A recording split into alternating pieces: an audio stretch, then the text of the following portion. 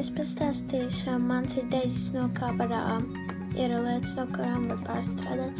Tātad pirmā lieta no vienas tās olu kastītes, no tām formiņām, kur ir viena olu liek iekšā. Tā kā tur šitā izgriež, un tur tā ieliek zemīt iekšā. Man te uh, pašlaik ir diļu sēklas, bet viņas vēl nav izdīkušas man. Uh, tā ir mana pirmā ideja, kur vienkārši um, bija jāizgriež un jāieliek um, tas tā, lai augtu viņš, un, protams, jālaisa. Un otrais, kurš mans mīļākais, ir šī tāda tā kā piena kastīte būtu, bet te ir caurums tā, lai tā kā kraikasīti izmantotu.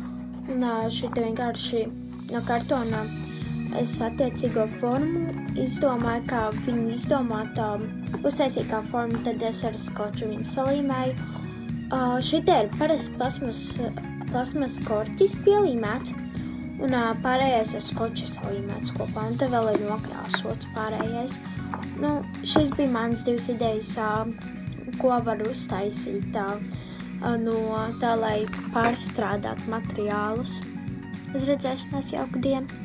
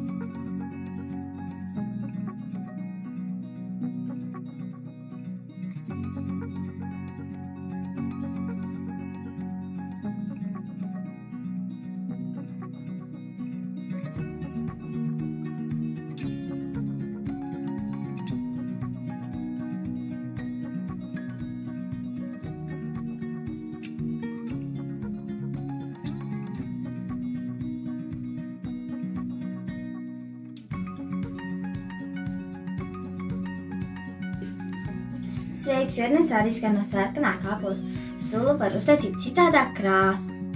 Piemēram, piepilnāt dažādas vielas. Es pilnāšu šodien klāt pienu, citronu sulu, sodu un etiķi. Piemēram, man šajās glāzēs ir e, sarkanā kāpos sula. Šajā glāzē es liešu klāt pienu, šajā citronu sulu un šajā etiķi ar sodu. Un redzēsim, kas mums iznāk. Sākam eksperimentu. Sākumā šajā, kur es liešu pienu, iepilnāsim bišķi pienu. Paņemšu vēl vienu. Un Es samaisīšu ar karoti un redzēsim, kas notiks. Izskatās, izskatās, ka vēl nekā nav. Pamēģināsim vēl vienu.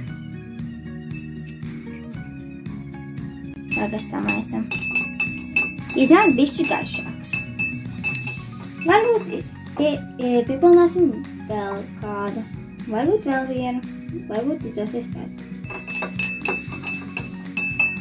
Sāk izveidoties gaišāks. Bet tagad pievienošu vēl un varbūt pavisam gaišāks paliks.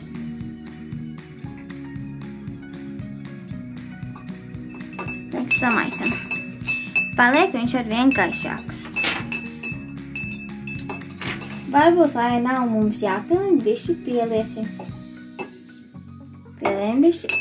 Un tagad viņš pavisam gaišāks paliek. Varbūt jūs neredzat gaišumu, bet man te viss gaišāks paliks. Viņš ir tāds gaiši, gaiši violetīgs. Pieliesim vēl, varbūt kaut kas vēl citādāks notiks. O, tik gaiši palicis. Nezinu, vai jums tā rādās, bet man ir ļoti gaiši, gaiši violets. Tagad mēs iesim tālāk pie citronu sulas. Šeit es likšu citronu sulu klāt. Es ņemšu pici sēkliņu ārā, lai sāktu iespiest bišķi citronu sulu. Ok, es iespiedu, tagad es ar karotu pamaisīšu. O, kāds gaiši, gaiši sarkanīgs rozāks šeit ir palicis no violet, e, sarkanīga. Violetīgi pārveidojās. Tagad piespiežam vēl pišķi klāt. Tagad skatāmies. Tagad viņš paliek ar vien gaišāks. Okay. Tas mums arī izdevās. Viņš pārveidoja citu krāsu. Tagad ejam pie sodas un etiķa. Tagad es pišķi iepilnāšu, vai arī pišķi ieliešu. Etiķi, etiķi klāt. Tagad es paņemšu pišķi sodu. Iepilinu šajā priekšā un es pamaisīšu. Viņš sāk uzpūsties. Cik jauki izskatās.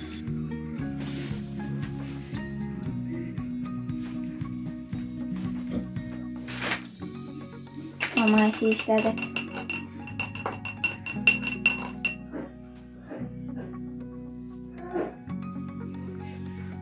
Viņš ir, nav pārveidojis krāsu, bet viņš ir uzpūties.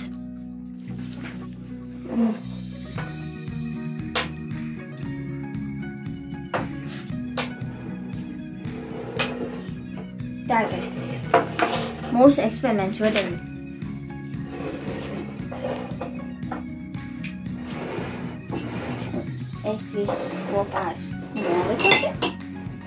no sarkanās uh, kāpos sulas.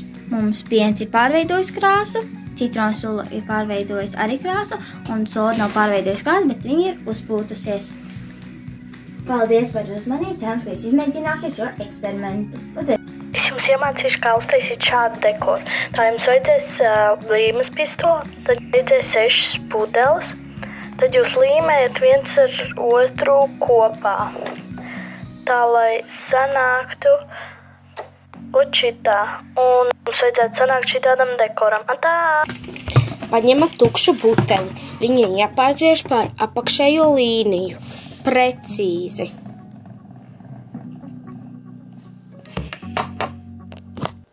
Kā jau redzat, es šo, šo buteli pārgriežu. Tad ir jāizmēra un jāpaņem krepapīrs.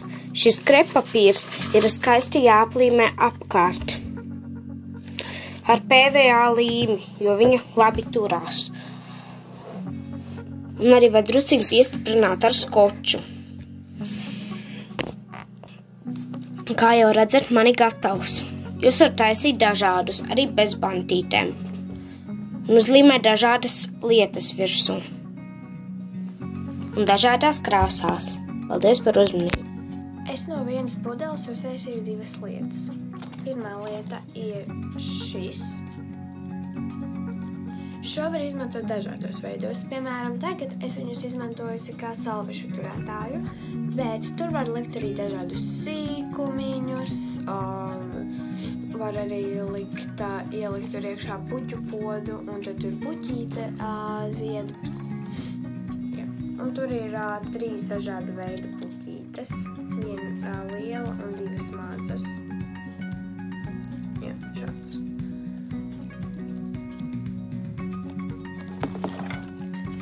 Un otra lieta ir šis. Šo varētu nosaukt kā tādu kā rotary lietu. Tu izdari šādi iemet iekšā.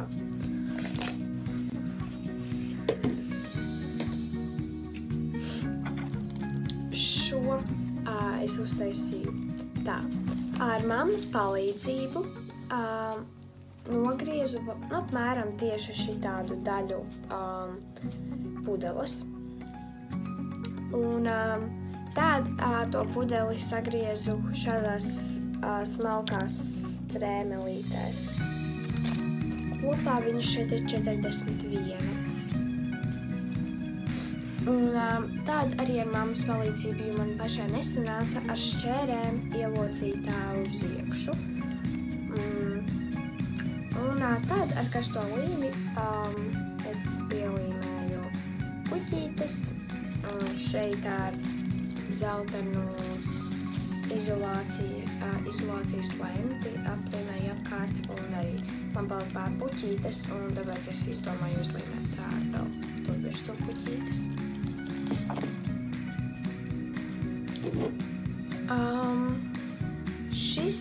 Mazliet grūtāk, bet šis bija ātrāk. Šo bija diezgan uh, ilgi jātaisa, tāpēc, ka tās puķītes bija grūti līmēt.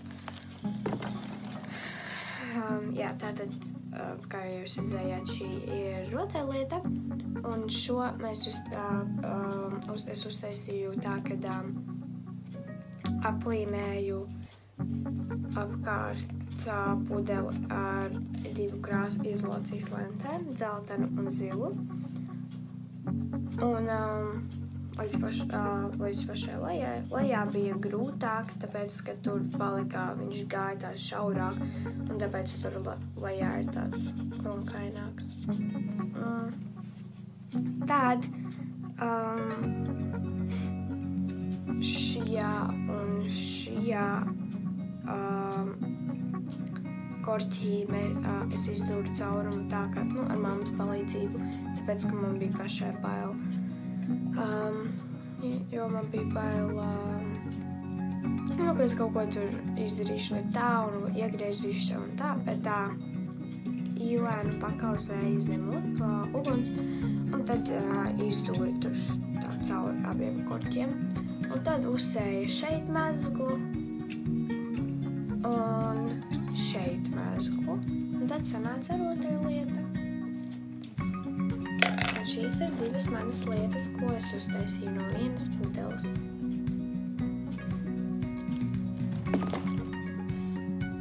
Labdien! Parādīšu, kā taisīt zāles. Pirmais, kas jums būs vajadzīgi, ir pudeles augša. Viņai nav jābūt perfektai.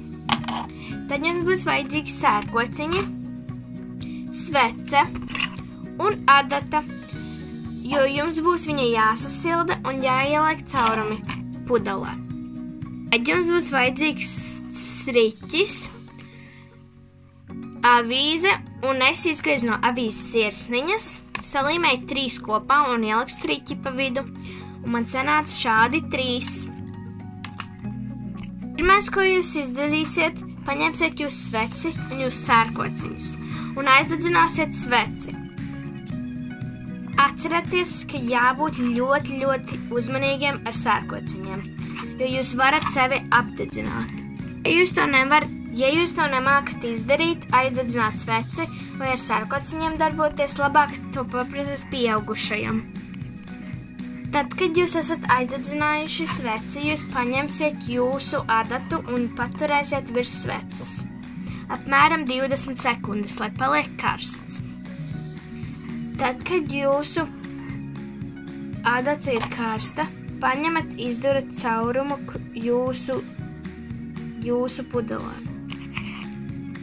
Tad jūs paņemat jūsu gl glāzi, nē, bet pudeli un izdurat viņā caurumu. Es parasti uztaisu diezgan lielu, lai varētu tikt jūsu striķis cauri. Jūs pudelē taisat tik, um, tik lielu caurumu, lai es to izdarīju trīs reizes, lai iznāktu perfekti liels caurums. Un to izdarīt vēl trīs reizes, vai cik jums ir vēl striķīši. Tad, kad jums ir trīs vai cik jums ir striķīši vairāk, jums vairs nevajadzēs sveci. Tagad jūs sveci varat nolikt malā un paņemt jūsu pudeli. Tagad, kad jums ir pudelē caurumi, jūs paņemsiet jūsu sirsniņas un jūs viņas ievērsiet katrā caurumā. Un, ja jūs nevarat ielikt jūsu dzīvi, jūs vienmēr varat izmantot adatu, un tas jums palīdzēs. Tad, kad jūs esat ies, ievilkuši iekšā jūsu striķīti jūsu pudelē, jūs varat pasīties, cik uh, jūs garu viņu gribēsiet, tā kā cik augsta jūs tās sirsnības vēlēsieties, un jūs uzsienat mezglu šeit. Un jums tas mezgls ir jau, jāuztais tik liels, lai viņš neiet cauri jūsu caurumiņam. Kad jūs uzsējuši tik lielu mezglu, lai jums neiet viņš cauri, šādi, tad jums ir jāizdara tas pats uz abiem diviem pārējiem vai uz visiem pārējiem, kas jums ir. Man patīk, kad viņi nav visi vienā augstumā, jo tad viņi izstāsta smukāk. Tad, kad jums ir visi ielikti, jums tālāk ir jādara Lai dabūtu skaņu, es ieliku vecus rāvēslēdžus un kaklarotu. Nu, viņa skaņa nāk šāda.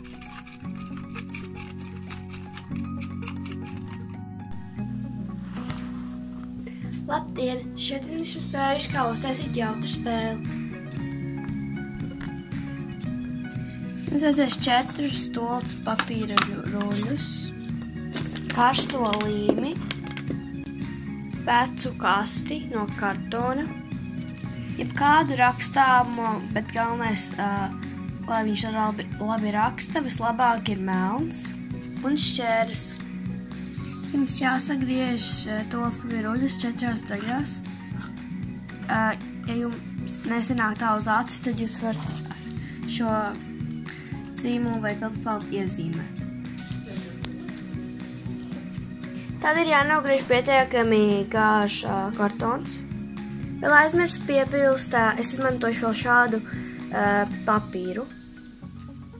Tad, kad uh, ir sagriezti šie tena, es viņus uztaisīju nedaudz lielākus, tā lai ir šos mazākus un šos lielākus, tāpēc, ka, lai būtu grūtāk iemest bumbiņu, bet šos te visgrūtāk, tāpēc, ka, lai tur būtu vairāk punkti. Bet tagad mēs ķersimies pie kartonā apakšas un līmēsim šo papīru šeit ar karsto līmi. Kad jūs esat pielīmējuši, es pielīmēju šādi, tagad es atnogriezīšu visas maliņas. Tagad es atgriezīšu maliņas, un mēs sāksim līmēt šos te mazos riņķīšus virsū.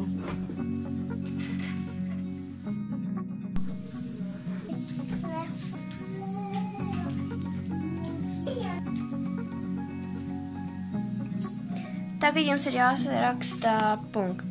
Šajai ailītei es rakstīšu 5 punktus, šajai 10, šajai, šiem diviem es rakstīšu 20 vai 15, un šiem diviem es rakstīšu 20, šim es rakstīšu 50, un šiem diviem 60, 60. Tad, kad jums visi cipari ir sarakstīti, tad jums ir jāpaņem bumbiņu un jāsāk spēlēt. Tieši šādi. Tad, tad jums ir jāņem bumbiņu un atsitutnes no zemes viņai vajadzētu ielidot kādā no šiem laukumiem. Ja viņa atsitās pret krustiņu, tas nozīmē, ka jums punkti nav un jums ir jāiemet kā, kādā no šīm caurumiem. paldies, ka skatījāties. Es tagad nobildēšu bildi.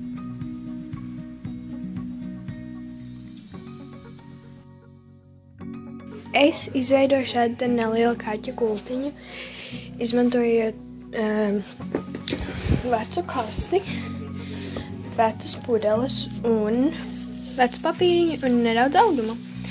Tā lai izveidotu šādus nelielas matricīšas, kas ir gan iekšpusē viņiem, gan arī šeit nelielas matricītes apakšā un šeit neliela apmalīte. Es visu salīmēju ar karsalīm par kaķi. Viņu ļoti patīk, jo viņam patīk ko daudz kastēs. Un man sanāca izmantot savu atlikušo šo tam papīra. Un, un ja. Čau tikai šodienas parādīšu, kā no tēkrakla uztaisīt somu. Pirmais, ko darīt, ir nogriezt kraklam piedurknes. Tālāk izgriežam lielu kakla daļu. Nogriežam vīli, kas ir tēkrakla lejā. Tad sagriežam tēkrakla lejas daļu strēmelēs.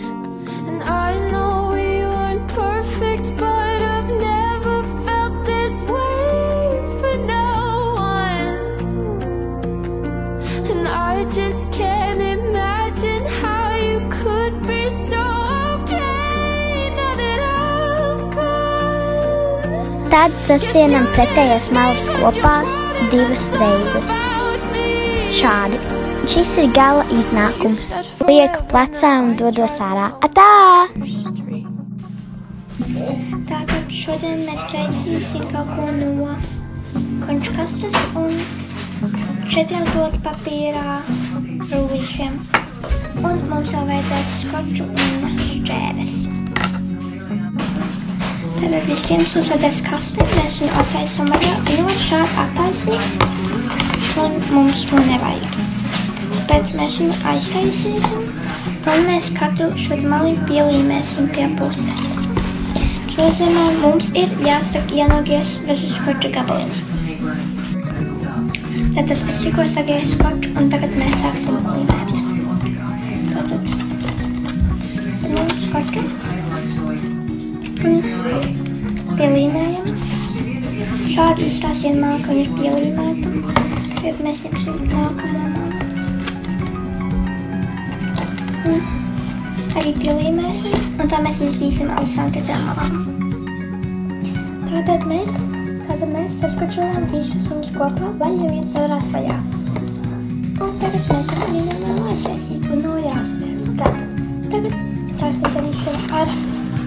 tualetu rullīšiem. Un vajadzīgi četri tualetu rullīši pēc šī. Tātad mēs ņemsim kasti. Um, bet pirms mēs sākam kaut ko darīt, man mums būs atkal jāsagriež gabaliņi skoča.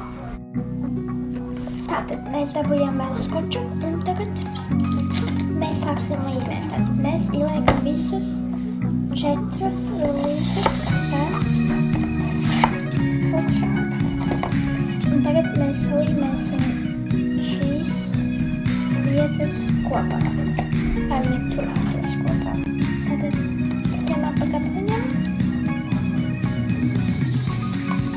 Un līmējam un šādi mēs liekam pār šīm malām. Un tāpat mēs izdarām ārējās trīs veidus. Ok, tātad um, tā mēs to esam salīmējuši pēdējo šeit. Un tātad, kā jūs esat salīmējuši, jūs varat izņemt ārā, tāpēc, ka jūs tāpat pēc tam varbūt nejumsiet ārā. Tātad jums ir salīmēti šie. Un tagad mēs līmēsim viņus šādi pie malām. Šitā, šitā un arī šīs malas. Un redzēsim, kā tas sanāks. Tātad, lūk. Mēs liekam te augšā un pievelk un salīmējam ar šo daļu. Un tā mēs izdarām arī pārējiem. Kas esam salīmējuši šīs te malas, mēs pielīmēsim šīs vaļīgās malas. Un atkal jāsagriež vēl mazliet skoču. Tātad mēs sagriežam vēl skoču un laiks līmēt. Tātad, kamēr mēs griežam šo gabalu, tāpat kā iepriekšējos, tikai tagad šī šajā pusē, mēs uzlīmēsim šeit skoču. Un pievilksim klāt to papīru līti un pieskatēsim viņu klāt. Tad mēs izdarīsim arī pārējiem. Ok, tātad um, tagad mēs filmēsim pēdējo. Tātad, kad esam pielīmējuši, pamēģinām, vai būs viegli uzrakstīt.